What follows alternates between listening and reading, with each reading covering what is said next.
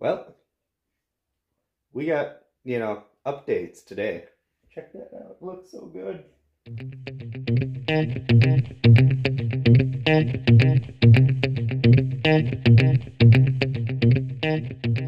Alright, so we not only have updates on the engine build, we also have updates on XMC and another series that we're going to start doing on the channel. But let's take a look at the engine build first. Now, as you can see, we have our AFR heads back. And they're sitting on top of this, you know, pretty, pretty, pretty painted block here. That's not the block we're using. This is just, we're using this as mock-up, right?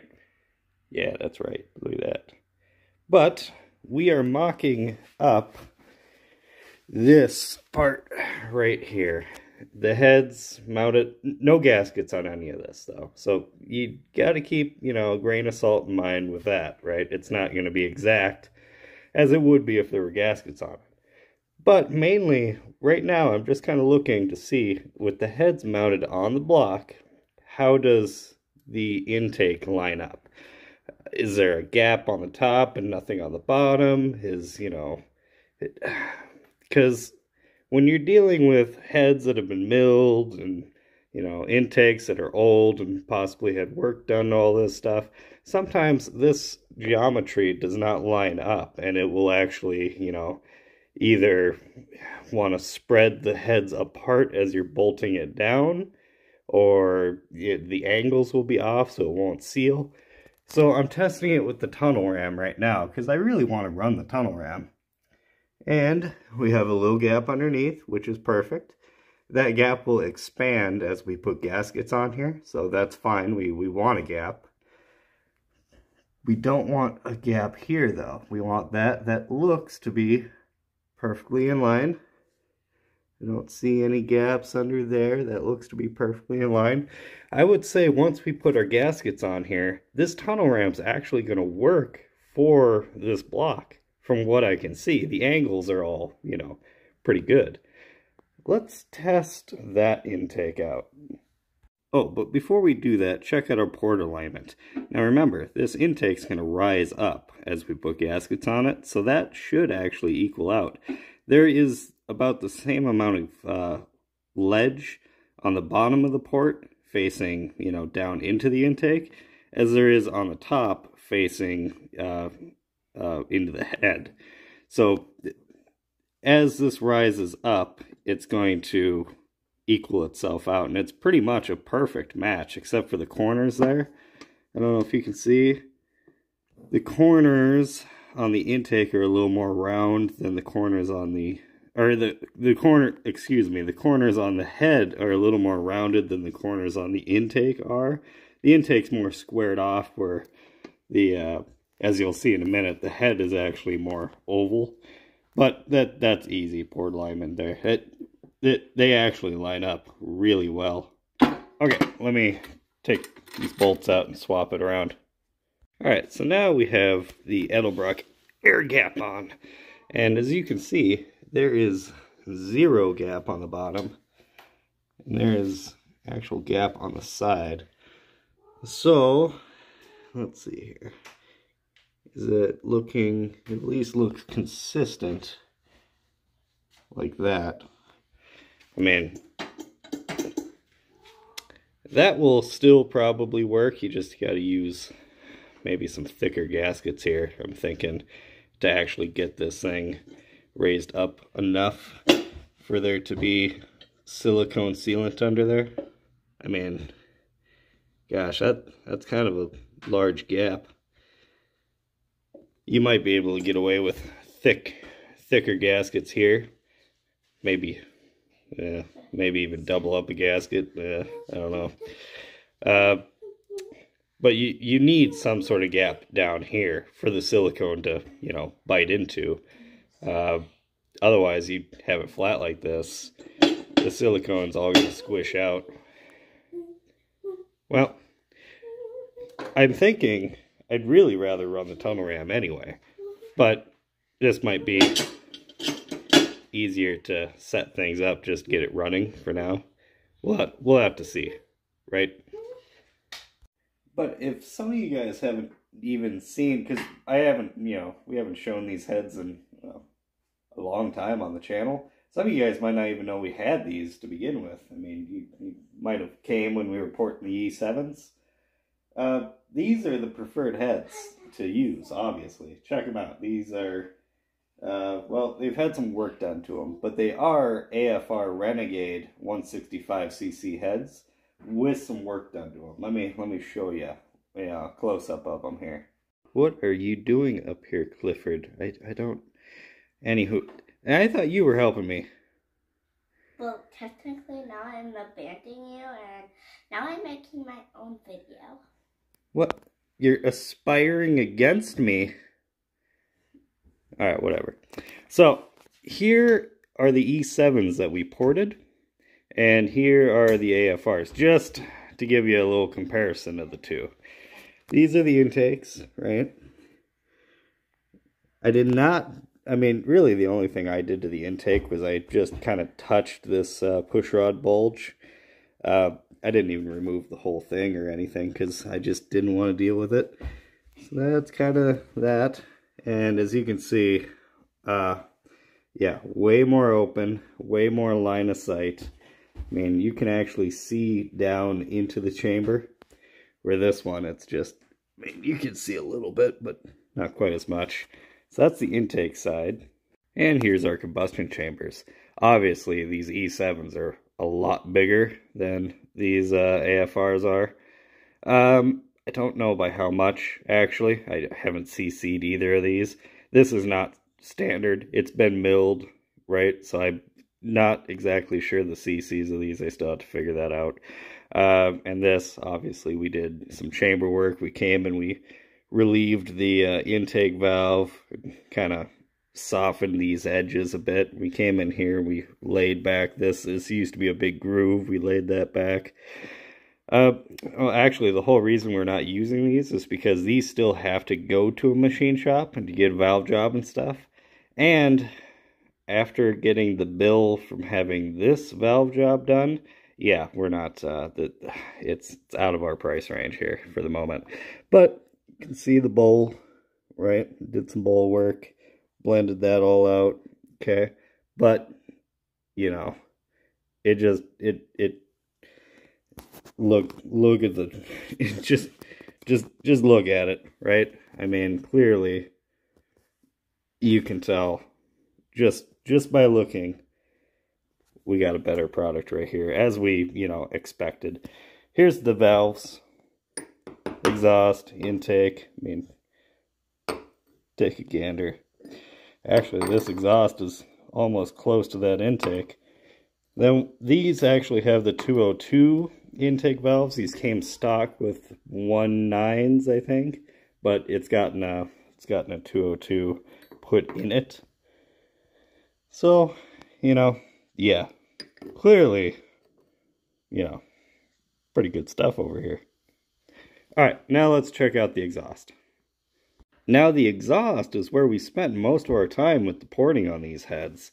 We raised the exhaust ports up to match our gasket, uh, and we widened it to match our gasket. This is the original, I mean, that's how much overhang we had up here to begin with too, but we didn't touch the floor at all because the exhaust gases, right, you know, get shot up and is trying to come out this way. It doesn't really care about what's on the bottom here as much this is the direction it's trying to flow out of. So that's really what we spent most of our time doing, as we can see by putting a gasket on here. Uh, line you up best I can. Where are you? There you are. Yeah. So you can see that's what we have going on.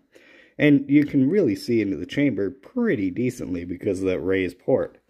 Now, as we have over here, we'll flip our gasket around, put you like that. The AFRs are not as raised as our ported E7s. Uh, you know, it, it's, you know, there's still meat up here compared to, compared to what we did over there. But it's got a much bigger valve, right? And it's got more volume uh, in the sides. As you can see, there's a there's a significant lip on both sides of this port. So overall, I would be interested to see how these two flow, but clearly this one is a lot more ergonomic and, you know, CNC'd and whatever else, it's wider.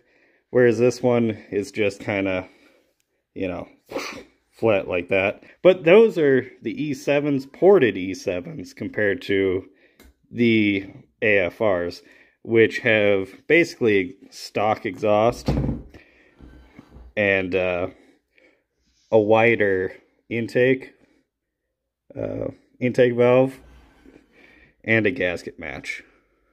Yeah, as you can see there, the two differentiating points. Those are nice heads. That That's the update on them, right? As comparison to what we have been working with. Uh, way lighter, too. I weighed these once upon a time ago. I don't remember I believe these were like, gosh, I don't remember how light they these were. Both heads, you know, both of these heads versus both of these heads, all fully assembled and everything. I don't remember what the weight difference was, but it was like half, half as much. Um, so that's our update with the heads. Uh, XMC, let me show you what we got going on with XMC. Extremely modified carburetor, if you don't know what that is. Uh, she's right there, just awaiting to be worked on some more. Um, yeah, our boosters, custom boosters. Uh, I have yet to work on that any further because, well, we got uh, we got those heads, so I was tinkering around with that. And the next thing, that's that the, we'll, we'll continue on that in a little bit because in this box is what we're going to be getting started on. Here's a brand new series for you. You guys who like carburetor stuff, well, we're, we're going to do some carburetor stuff, okay? This carburetor is actually the carburetor that was on the Iron Horse when we first got the car. Uh, this is its original, uh, original to when we got it carburetor, right? It's not the one it was born with or nothing, but it's a 600 Holley uh, vacuum secondary. But the vacuum secondary part's really irrelevant. It's mainly the 600 Holley size there and with the base plate. This carburetor is about as bare bones, you know, it's got straight leg boosters. It's a small CFM size. It's got the choke tower on it, right?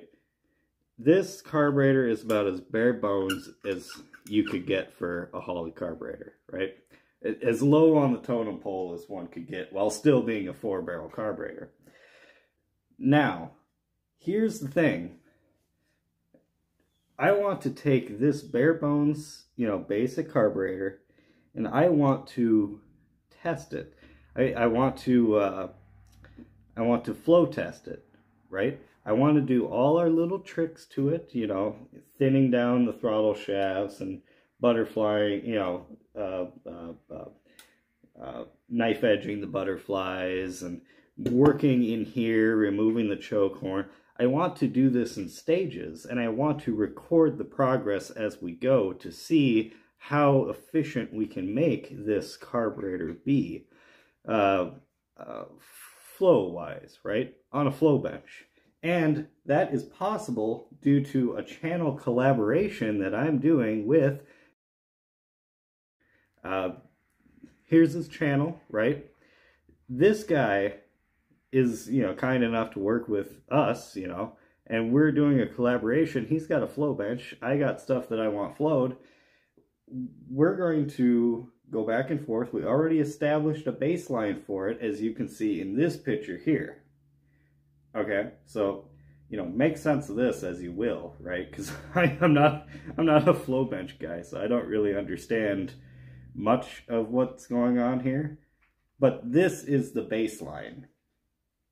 The baseline to this carburetor, the, the way it sits right now, just stock, is those numbers we are going to work on this. We're going to modify it up. We're going to, you know, mess with the boosters and thinning down in here and uh, we'll probably mess with the bores. We might even change out the base plate to a bigger base plate to stick it on this main body, like we did with our Holley. We uh, our uh, 750 to 850 base plate conversion.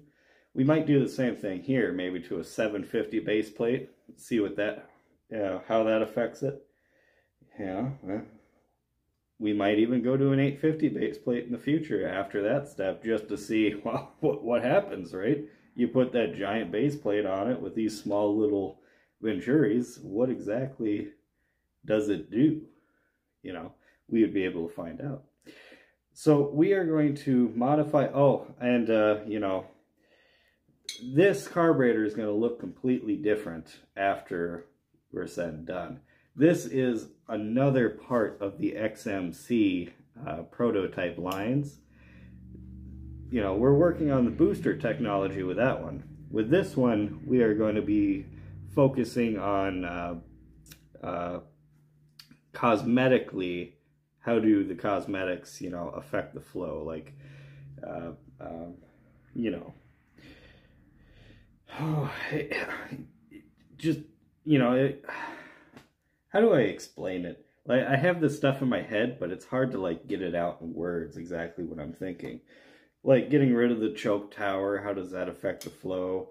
Possibly porting the top. I guess porting could be a word for it. Porting the top of this, right? We might add some JB Weld in here and then port it to, you know, match our specification. We might even JB Weld up to here and then port it and make our own velocity stack out of JB Weld attached to this. There's a lot of possibilities with this and I'm pretty excited to see where it goes. So thank you to Noble. He's going to have a couple videos coming out on this. I think he made a short of the baselining. Uh, I think he's waiting until he gets uh, the next stage of this brought to him so he has a before and after to post in a video. So you might not see anything on his channel until uh, uh, we send it back for retesting, and then he'll have a before and after uh, on it, which go watch it because all the flow testing and stuff, major like number crunching, is going to happen on his channel. My channel is going to be actually modifying the thing, but if you want to see the results of what happened when we modified it, you got to go to his channel and watch his videos. That's the whole, you know, give and take with collaborations, right? you know, we both got to get something out of it. And I think this is going to be really cool, seeing as it is the bare bones. You know, how much performance can we craft out of this bare bones, you know, junk main body carburetor, right? I'm thinking the numbers might surprise you when we're said and done with it. Okay, that's the new series coming out. We're going to be channel collaborating to work on this carburetor. Okay, so that keep that in mind. Now, all you guys excited to see progress on this engine build, remember this is not the block we're using. That's still in the garage, uh, covered in oil, has to go to the machine shop, get cleaned up, and new camber and stuff put in it. That is going to, we're, we're going to steadily try to work on this, but I'm just warning you right now, this is going to uh, uh, I have something in the works leading up to Christmas. Okay, if you catch my drift, I have something in the works leading up to Christmas that is going to be siphoning funds away from getting the other block to the machine shop. Okay, we have to get the other block to the machine shop before we can start assembling and doing all this and that, right? We need the other block, but that's going to be, you know, to pay the machine shop to do that, first I have other things that you will that you will see, right? You will see what I'm doing. But leading up to Christmas, I have another side thing going on that we're bleeding money off of this for that. Okay? So this will be really hog wild after Christmas. Uh, just keep that in mind not not totally state. It, we're not not going to do stuff. Just you know, okay. Any hoozle, like we're going to get the specs for those heads uh, coming up soon. So I will run down the whole specs flow because I had those flowed flow tested. We're gonna uh, dissect the results of that so we can figure out a camshaft, this and that. So we're gonna work on that. Uh, but that's it. That's all I got for this video. This video was really just an update video showing you guys what's going on around here. Uh, just because I haven't thrown anything up in a few days. I got the old kiddo here, which is just dancing in the background, apparently. What are you doing? Making a video without sound. Oh, that's good. That's good.